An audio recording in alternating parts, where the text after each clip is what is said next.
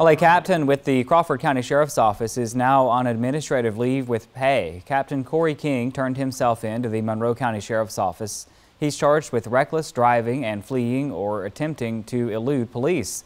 Sheriff Lewis Walker says the charges stem from an incident in Culloden where King was riding a four-wheeler off duty. The Monroe County Sheriff's Office is investigating. Crawford County has an open internal investigation.